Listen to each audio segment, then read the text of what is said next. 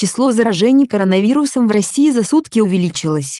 По оперативным данным, сегодня 8386 новых случаев.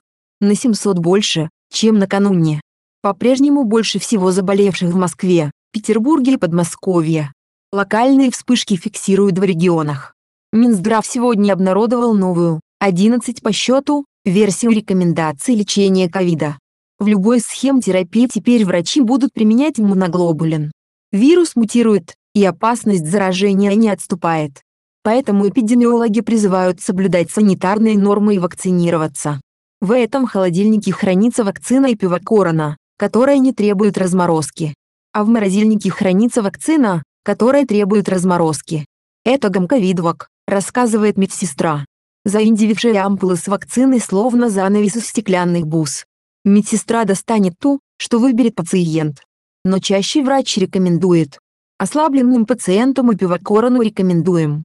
А пациенты, которые приходят прививаться по своему желанию, гамковидвак, поясняет участковая медсестра Галина Рябченко.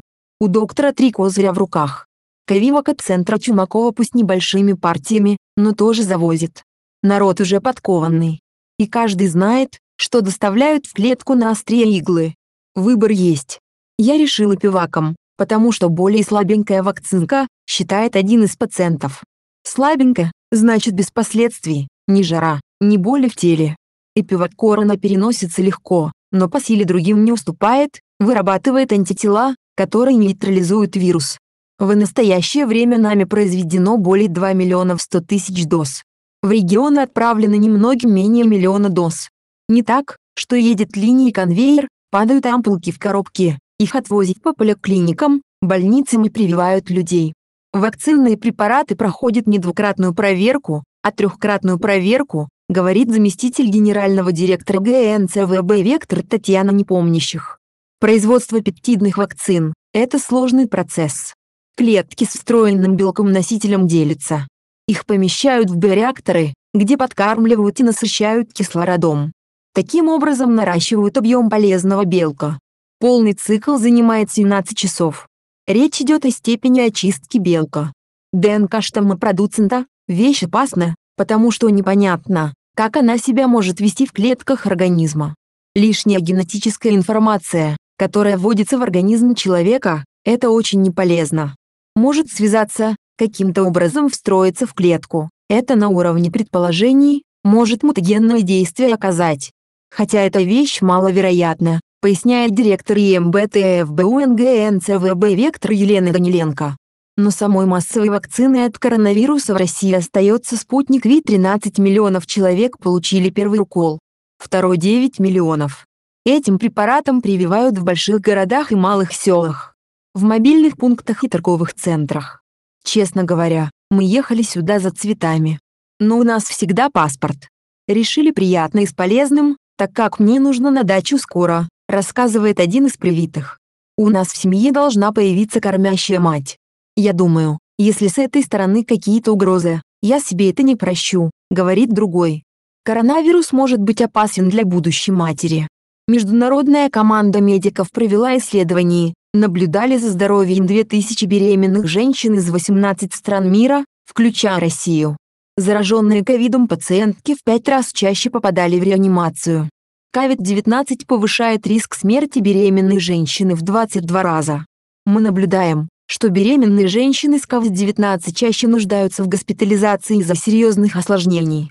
Им требуется интубация, они оказываются в реанимации. Около 20% процентов пациентов в реанимации сейчас именно беременные, заявила гинеколог-акушер-мажор Диксон. В нашей стране эти исследования вели специалисты Национального медицинского центра имени Кулакова. Здесь тоже работали с ковидом чуть больше трех месяцев а после дистанционно консультировали коллег, когда возникали трудные случаи. Да, были потери в стране. Было проконсультировано более 8 тысяч в этой линейке ковид-беременность роженицы. Делали все возможное, чтобы было меньше потерь. Сейчас у нас в стране только два женщины на аппаратах ИВЛ. Нет никого на ЭКМО. Женщин, которые вызывают тревогу, сейчас, к счастью, нет, говорит директор НМИЦ акушерства гинекологии и перинатологии имени Кулакова Геннадий Сухих. Роддом 15-й больницы Москвы уже больше года работает на COVID. За это время здесь пролечили больше 2,5 тысячи женщин, 900 малышей появились на свет. Непосредственно сам вирус на ребенка не воздействует.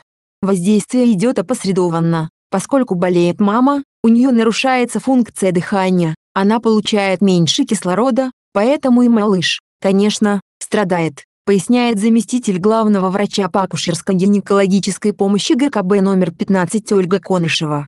Вопрос о том, может ли ковидная инфекция передаваться от матери еще нерожденному ребенку через плаценту, до сих пор не изучен досконально.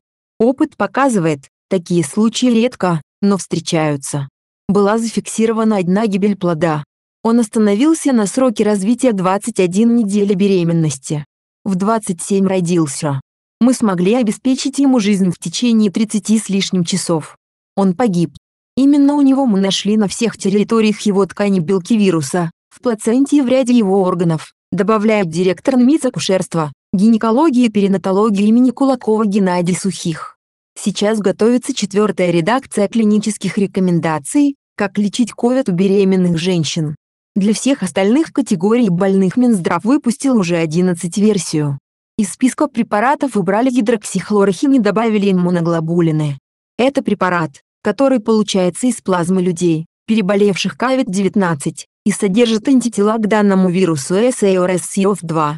Мы как бы вводим человеку уже как бы готовый иммунитет, готовый иммунный ответ против вируса, что позволяет более эффективно бороться с этой вирусной инфекцией, говорит заместитель директора НМИЦ фтизиопульмонологии и инфекционных заболеваний Владимир Чуланов.